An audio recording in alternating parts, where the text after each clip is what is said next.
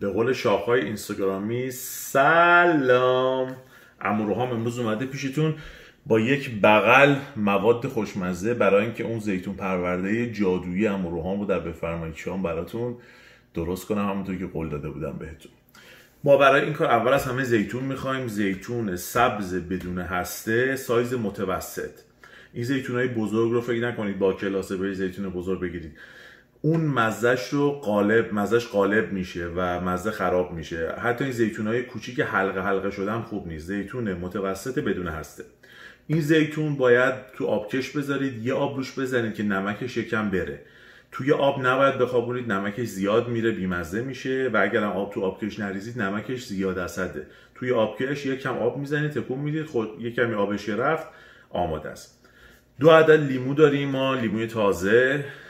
دوباره سر خودتون کلاه نذارید لیموی تقلبی استفاده نکنید آب لیموی تقلبی. اینها رو بزنید توی به جای آب انار. بعضی آب انار می‌زنن.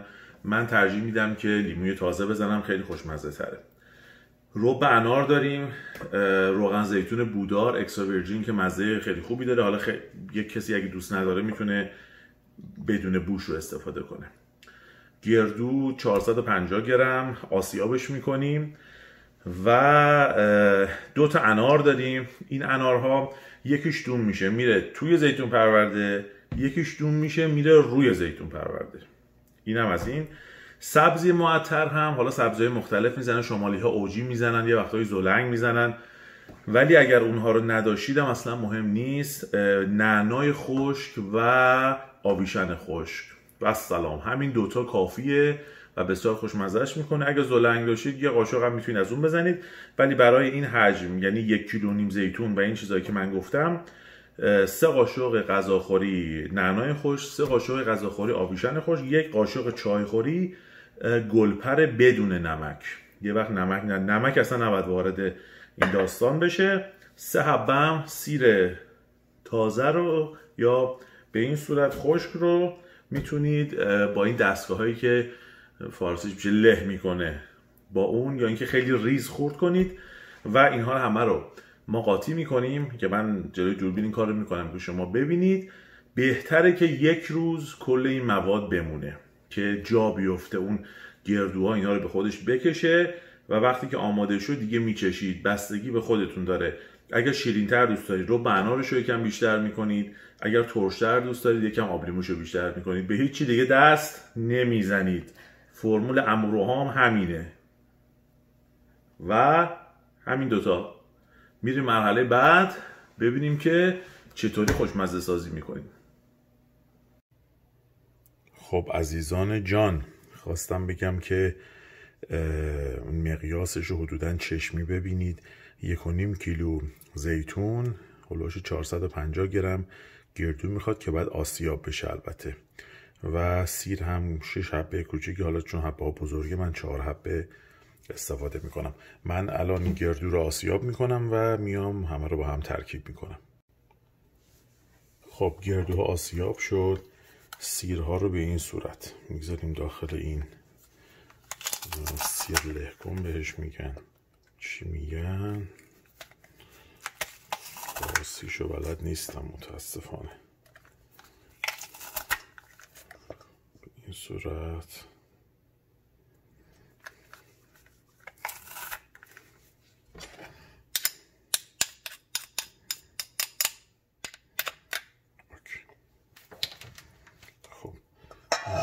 شد.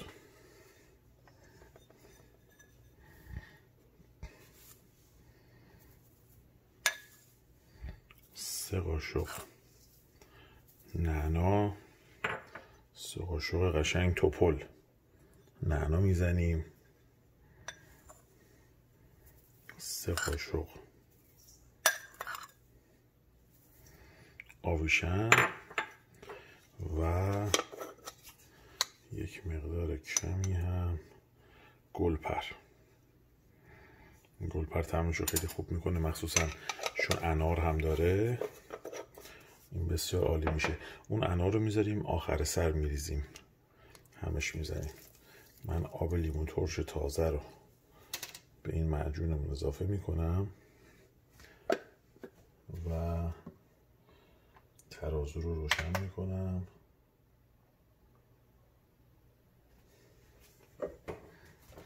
و روغن زیتون بودار رو بهش اضافه می‌کنم. الان ظرف من روی ترازو هست. برای همین من مقدارش رو می‌بینم که چقدر هست. در واقع 90 گرم تا 120 گرم. می‌تونید روغن زیتون بودار بهش اضافه کنید.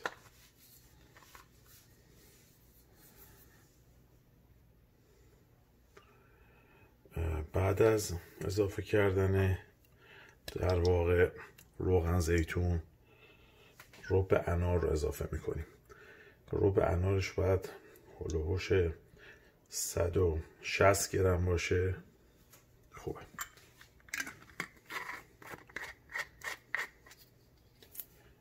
اینا همه اضافه شد. ترازو رو من از زیرش بر میدارم و این باید قشنگ هم بخوره. اینها به خورد هم بره.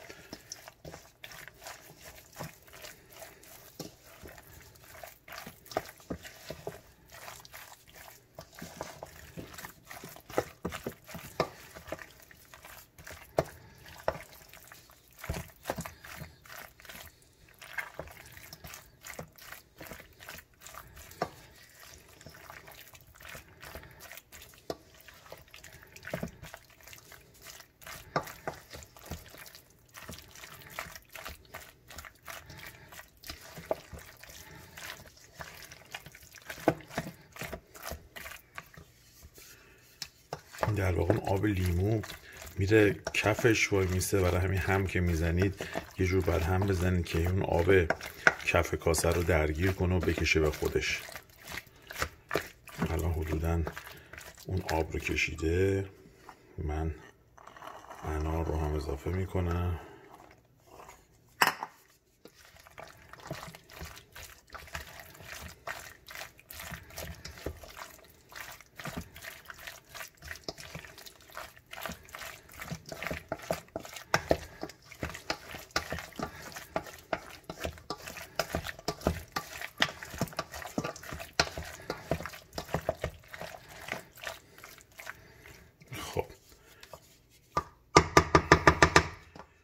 این زیتون پرورده ما الان آماده هست ولی هنوز آماده خوردن نیست.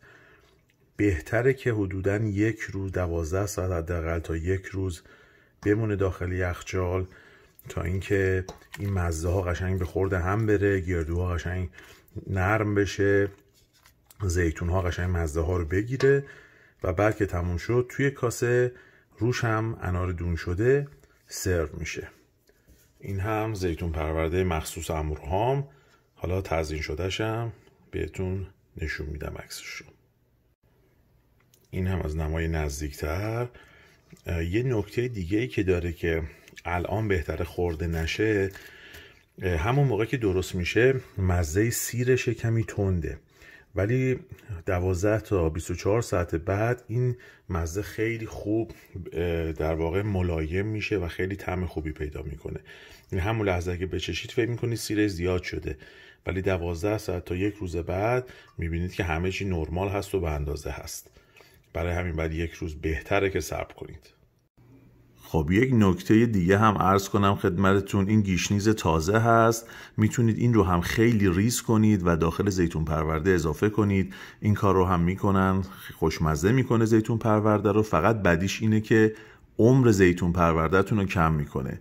به خاطر اینکه زود سیاه میشه و شروع می‌کنه به خراب شدن و اگر شما زیتون پرورده رو مثلا بتونید ده روز حداقل نگه دارید با کیفیت عالی این در عرض دو سه روز شروع می‌کنه دیگه زیتون پرورده رو از اون کیفیت اولیه میندازه. برای اینه که همش رو بخواید همون روز بخورید. اگر نه بهتره که همون دو مدل سبزی خشک آویشن و نعنا رو اضافه کنید.